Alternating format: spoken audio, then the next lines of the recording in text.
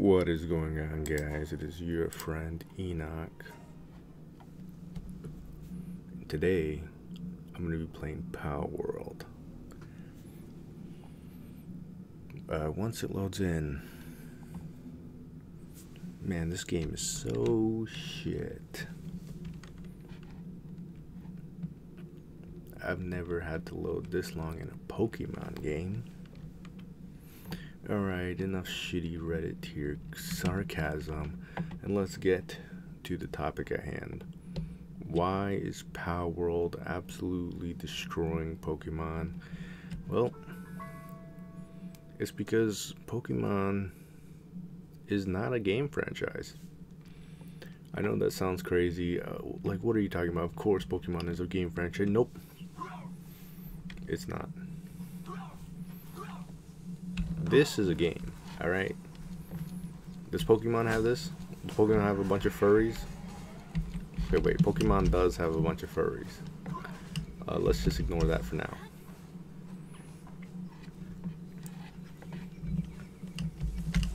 So, back to what I'm saying, is Pokemon actually a game franchise? In the most technical sense, yes. But, do your Pokemon labor for you? I don't think so. I don't think so. Seriously though, um, it's just not. It's not a game franchise. Nintendo clearly does not give a shit uh, about the games. Um, if they did, they would probably make it, make them good. Uh, they don't. Nintendo slash Pokemon Company. I guess Nintendo in general, since they're a huge stakeholder. Um, they just don't care. They used to be really good, and the reason they're so popular is because they basically own the portable game industry. No one else really competes with them. Like there's Steam Deck, I guess, but that's not portable gaming per se. Um, it's really just making a small computer you can put in your hands, and sure, maybe that's what a Switch is, but not really. Console devices. Um, they have computer components in them, but they're not really as free-willed as actual computers. Uh, I'm just gonna go around fight some bosses while I try to explain why Nintendo is really failing. And so, if they're not a game company, then uh, how do they make money? And the answer is influence. Can't do that in Pokemon. And by influence, uh, basically I mean they were a game company and they made really fun games because at that time, uh, games just they didn't exist. Games were games. You know your choices at the time, right? I'm sure some of you, you know, if you're uh, younger, uh, first of all, uh, log off, dude. Go play in the yard or something. Don't be like, don't be like me. Okay, this game fucking sucks. Anyways, uh, yeah, so your choices were basically just sit at home, play Monopoly with all your annoying family members, um, even though half of them are probably at work or too old to even relate to you.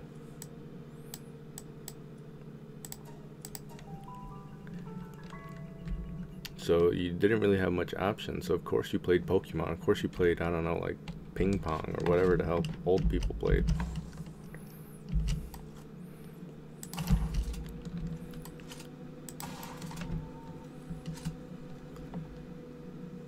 Uh, let's see, key, gold, whatever. So, yeah, I mean, that's just the, basically the type of environment games were in at the time, is you would play anything you get your hands onto. If you're a kid, like you'd get maybe a game twice a year once on your birthday once on christmas maybe you know? Uh, or maybe uh, you're a millennial so your parents had a lot of generational wealth so you got games all the time. So like great. That's nice. And I'll get more into why that's actually important later but so that's basically how they build their original influence is just by existing at the perfect time. It's really a right time, right place opportunity.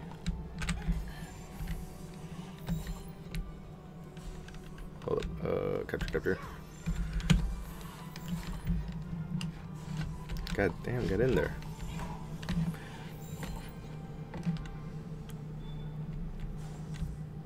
Yeah, this game fucking sucks. I was wrong. Just kidding, this game rocks. It rocks socks. So anyways, but the thing that Pokemon had basically was it had franchise. You could franchise it. Uh, I, I, bet most of their sales are probably just from uh, selling literal slop to people. And that's basically what Pokemon is. Pokemon is just uh, a slop factory for peak consumerism.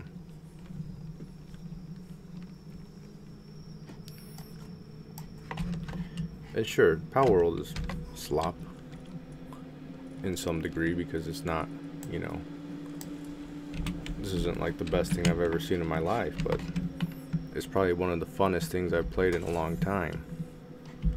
So in terms of gaming, yeah, of course it completely mogs Pokemon. It doesn't take a lot to mog Pokemon. Uh, fan games mog Pokemon. Let's be real here.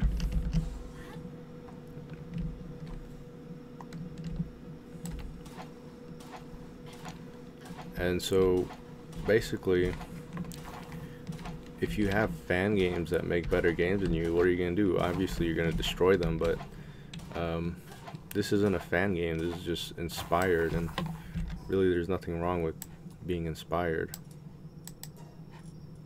I'm overweight. Oh, perfect.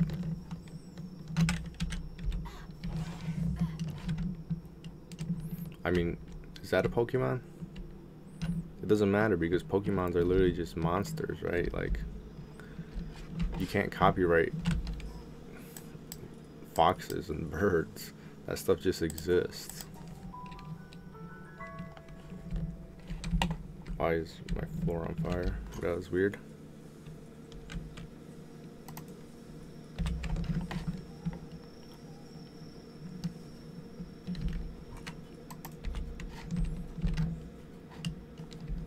Look at these guys. They're so cute. That's not that's not a Pokemon. That's a pal. Alright? And he's adorable. I get to see him sleep and he helps me out. Like there's an emotional connection there. Like it actually matters. Like you know, until you need to butcher them. Which you know, I'm just kidding. There's really no reason to butcher your pals in this game. So yeah, there's a lot of like funny memes here, like, you know, literal capturing of humans. Like, if you can capture you know, monsters, why can't you capture humans? And honestly, it's actually pretty useful. Wait, where are you going? Okay, well, he's just running off, but... See that? That's useful.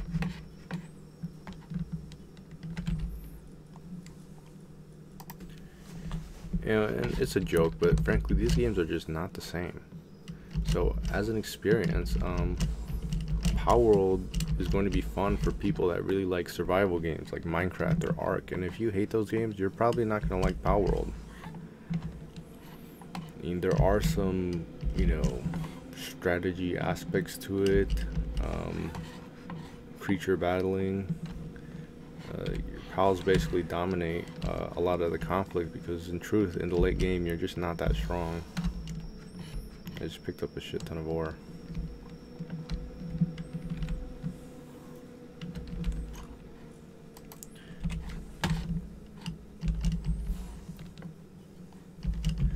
So I feel like this game really appeals to people that like, uh, you know, they like survival and crafting, and they like to optimize problems.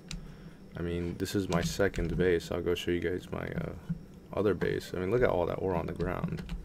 That is a lot.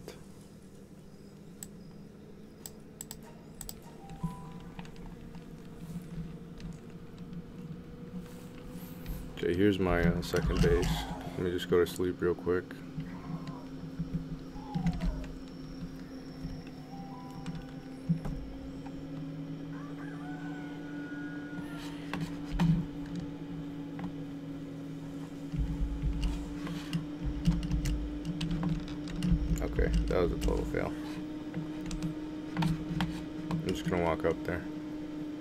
Alright, this is my blender. You can blend pals in there. Um, but here it is. Like, I've optimized my bases for different tasks. This is like breeding and farming, and I'm still in the process of optimizing it. And that's just, it, it's fun. It appeals to someone like me who likes optimizing problems. Um, and I like having fun. So yeah, if you're like one of those uh, sloppers that love uh, movie games and you, you need your handheld because you can't think in an abstract space, well, maybe this game's not for you.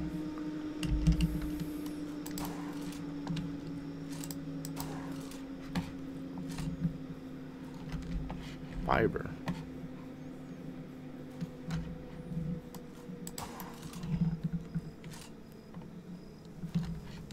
venom gland. It's kind of useless. Yeah, so I've just been having fun. I'm sort of in the late game, basically. Uh, 44. I tried crafting 100 of every one of the POW balls. Um, I'm making a bit of progress. Uh, I'm trying to make 1,000 of every ammo. Um, not making much progress on there. I need way more ore. And so like I get it. This game isn't for everyone, you know, but we say this game isn't for you because you, you know, you identify a company as basically being your parent.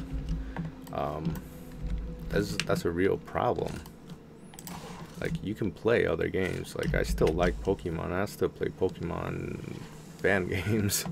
Uh, I probably won't buy more Pokemon games to be honest. Uh, they've just been so bad lately, and that's just another reason, you know, why the memes started. Really, Palworld is not a competitor with Pokemon.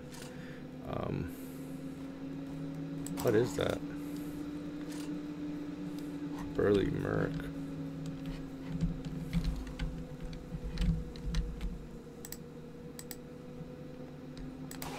What the hell is this guy? Okay, just a bunch of random people fighting around my base. I mean, look at this. Does Pokemon have Land Ball?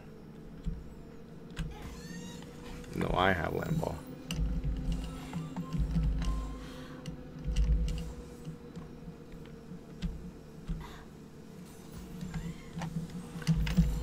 And honestly, if Palworld starts making like, uh, you know, some physical slop, like, uh, what what you call it, like stuffies and toys, people are probably gonna buy it because I mean these things are cute.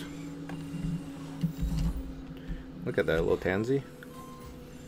He's mine now.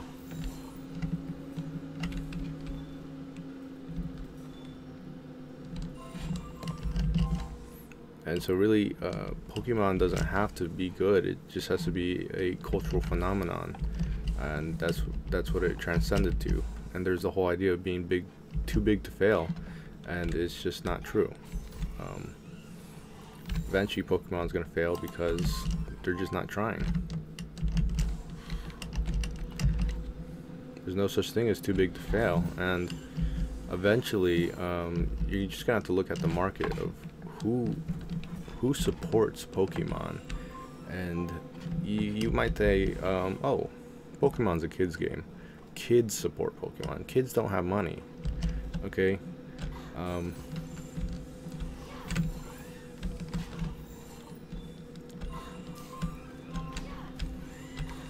what the hell you get in here? So yeah, kids do not have money. It's adults that support Pokemon, and um, if you really, if you're a company who basically hates its fans, um, your fans are not going to want their kids to play it. you got to think about the whole uh, idea of audience and pokemon right now is really just being supported by you know adults who think that they're children still.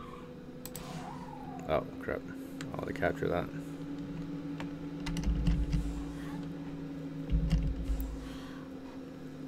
And honestly that's not sustainable. It's not sustainable. Eventually pokemon is going to fail.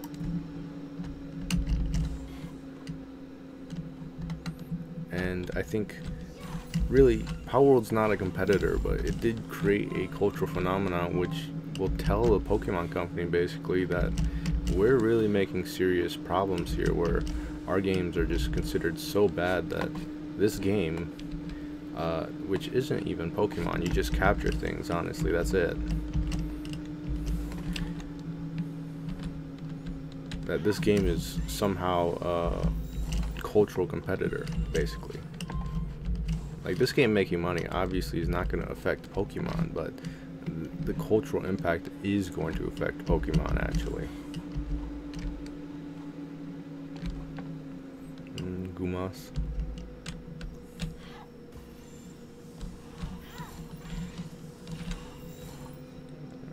I guess I already have 10 Gumoss.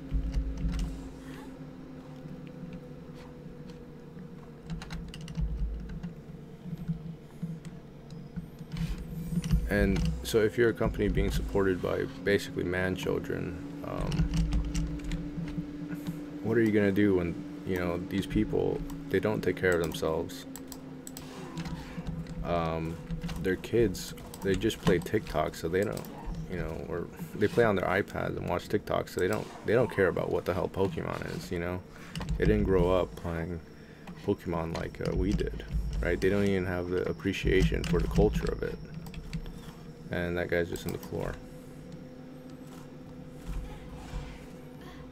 Maybe this can get him.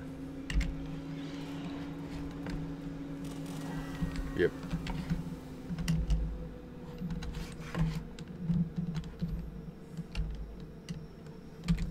Oh, I just took some damage.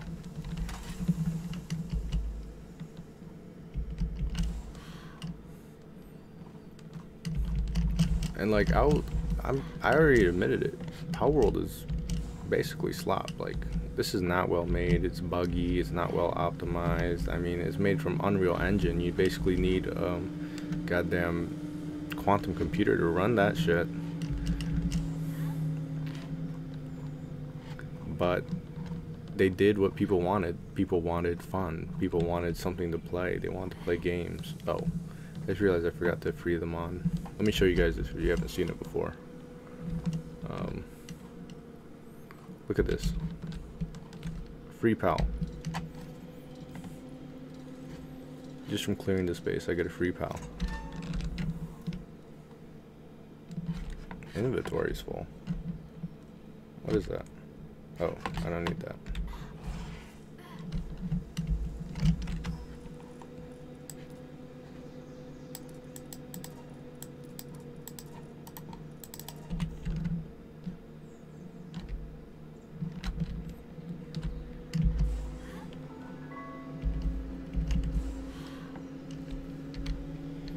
So yeah, we have all these people, um, and culturally, they're just gonna stop caring. No one's gonna want to buy Pokemon. No one's gonna want to play Pokemon games because uh, ultimately, you know, people care about a product.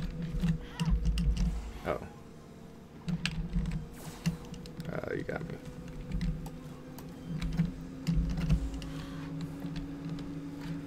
And that's good. You should care about a product. You know, you should care about the quality of the thing that you get, the thing that you're buying. You know, um, there's really nothing wrong with that. And you have these basically deranged millennials that they're saying like, no, I have to worship these companies. These companies are basically my dad. Like, that's not true though. Company's not your dad. You know, the company's never gonna actually care about you. Uh, and even if they did, you you can't really trust that they'll care about you uh, in a sense that they'll support you, that they'll care for you in a in a financial way um, they just care about at the very least they can care about the product they give you. And when people don't have that when people don't have like like the pokemon company people stop caring. So yeah. This is the opinion of some idiot that played pokemon before and i guess is probably above average intelligence so you should care about me because uh, I posted it on the fucking internet and that's basically it guys. So play Pal World if you think it's gonna be fun. Don't if you don't like survival games. But in general uh, Pal World was always gonna succeed because you know it had the memes it, it had the culture uh, it had the gameplay you know it was not just a scam it was actually functional. Um,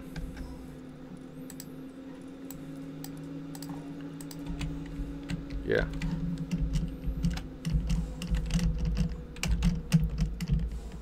So I'm probably just going to keep grinding and see you guys later. Bye-bye.